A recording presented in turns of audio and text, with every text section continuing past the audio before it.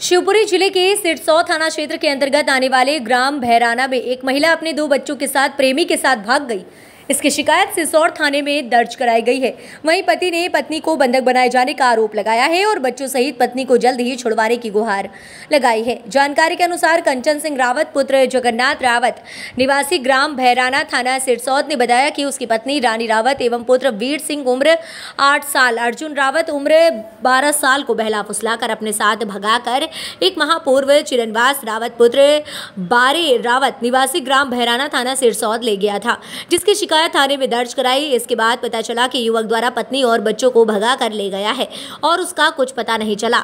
उसके बाद पत्नी को, बच्चों को देखने व्यक्ति के घर गया तो देने से मना कर दिया और कहा गया कि पत्नी को अपने कब्जे में बंधक बनाकर रखा हुआ हूँ। पति ने कहा कि डरा धमका कर उसे रखा है इसलिए मेरे पक्ष में नहीं बोल सकती है। पति ने मांग की है कि उसे नारी निकेतन या सुधार गृह शिवपुरी या ग्वालियर भिजवाया जाए। युवक के चंगुल से छुड़वाना ज़रूरी है। पति ने कहा कि वह पत्नी के साथ और बच्चों के साथ दुर्घटना घटित कर सकता है और कहीं उन्हें बेच भी सकता है। पति ने पुलिस अधीक्षक शिवपुरी से पत्नी एवं बच्चों को छुड़वाने की मांग की है। कंचन सिंह। कहाँ रहते हो? बोराना। थाना कौन सा है? आज एसपी साहब के पास आए हो? क्या समस्या लेके आए हो? एसपी साहब के पास आया मेरे थाने वालों ने नहीं सुनी। क्या हो गया? मेरे घरवाली को बजा के ले गए। कौन? श्रीनिवास रावत। रावत। तो कैसे क्या ले गया कब से संबंध थे इनके? वो बहुत दिनों से सम्मत थे वहीं रहता था मेरे यहाँ आता था। दोस्त था तुम्हारा घर? दोस्त था। हम्म। दोस्ती में गद्दारी करी। तो दो मतलब दोस्त कैसे बने आप लोग? वो मौसी का लड़का है मेरी का।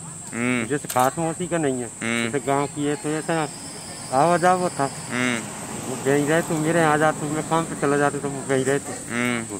तो तुमने इससे पहले पत्नी को बातचीत करते हुए पकड़ा था क्या? बातचीत तो वैसे बतराते हँसी मज़ाक करते मुझे जब मालूम नहीं था कि क्या कर रहे हैं।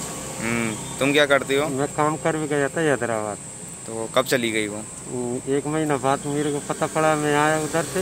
हम्म। तो मैंने उसको वो तो मिला ही नहीं। हम्म। वो उन्नीस तारीख को आया। हम्म। तो उन्नीस तारीख को मैं उसके घर पे गया। चिपका दे लड़का और मेरी हम्म। घर वाली कितने बच्चे हैं तुम्हारे? दो लड़के कितनी उम्र होगी बड़े बच्चे की? बड़े की बारह साल की और एक आठ साल का। तो ये आप बता रहे हो हैदराबाद गए थे? साथ में गए थे क्या? नहीं मैं अकेला गया था मैं घर पे छोड़ के गया था। वो क्या करता है और? वो खेती का काम। खेती का काम। पड़ोसी है तुम्हारा? पड़ोसी यही है। तो अब आप क्या चाहते हो? अब जब चाहता हूँ साहब वो रह नहीं चाहे तो मैं रात सकता हूँ अगर वो नहीं रह रही उसके साथ रह वो चाहे तो मेरे बच्चे दे दे। कैसे हुई थी ऐसा हुई थी करसने का एक लड़का था वो लेके गया उसकी ससुराल थी कहाँ पे? नागपुर में। नागपुर में। हाँ। फिर? तो वो लेके गया तो मेरी शादी भाई ने करवाई। पैसे वगैरह देखे नहीं पाँच हज़ार रुपये दिए थे। लड़की वालों को? लड़की वालों को वो भी कपड़ा वपड़ा खाना वाना भी नहीं दिया था वही पैसा में। कितने साल हो गए शादी को? कम से कम सत्रह अठारह साल हो गए। 18 उसका साल। परिवार पूरा मैंने घर पे पाला था। पूरा परिवार यहीं साले थे छोटे छोटे। हम्म। साली उसकी माँ सब साले थे। यहीं रहती थी वो? पहले यहीं रही थी शादी करके। हम्म। गाँव की तो मेरी ज़मीन भी बिक गई। उनके चक्कर में बर्बाद हो लड़की की वो आपकी पत्नी की उम्र कितनी होगी? वही होगी। सत्ताईस के सत्ताईस अट्ठाईस तो क्या नाम है वो जो लेके गया उसकी शादी नहीं हुई क्या? शादी हुई है लड़की है उसके यहाँ लड़के नहीं है कोई। उधर से ही लाया था कहीं उधर से ही लाया था? लड़की लड़की है? कोई नहीं है उसके औलाद नहीं है।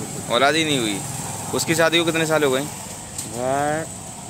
करीबन छः सात साल हो उसकी पत्नी से नहीं बोला आपने?